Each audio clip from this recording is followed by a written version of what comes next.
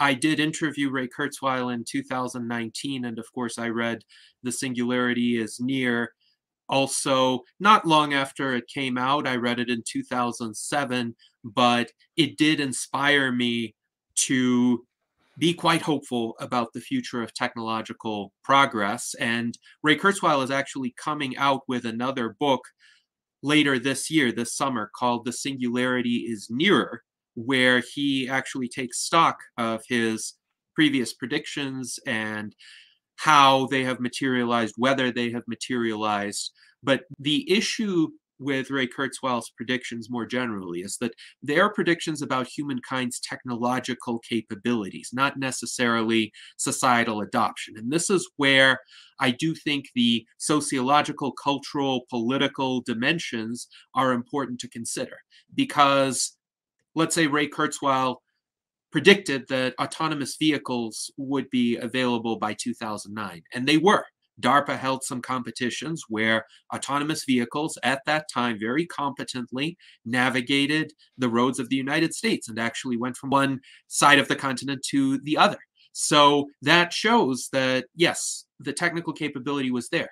But was the societal adoption there? No, obviously not, even though some entities attempted it. I remember in 2011, Google was making a push to get autonomous vehicles essentially the capability to be licensed in particular states. Nevada was one of those states that actually implemented a regulatory framework to allow that. So even regulators were fairly accommodating. But unfortunately, there was public resistance or inertia.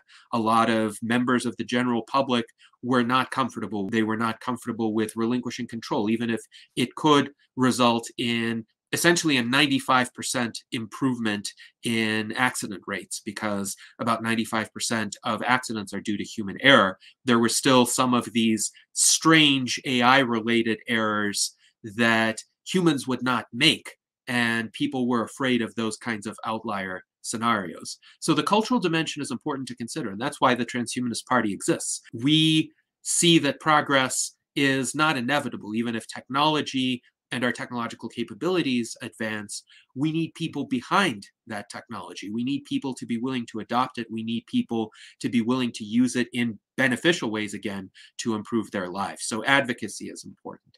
Now, in terms of the institutions, that will guide that technology. Obviously, that's important as well. And technology can be a double edged sword. Every technology has risks potential downsides. The automobile, for instance, manually driven automobiles kill about 40,000 people per year.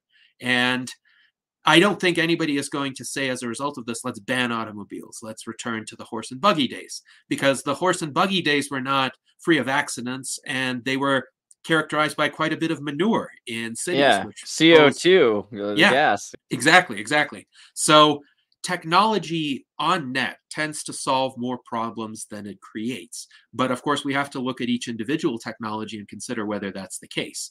I would say that's the case for a majority of technologies, but there are some technologies that are detrimental on net, like I think nuclear weapons, chemical weapons, biological weapons, certain surveillance systems are detrimental on net, and they shouldn't be explored. We shouldn't be synthetically engineering viruses either.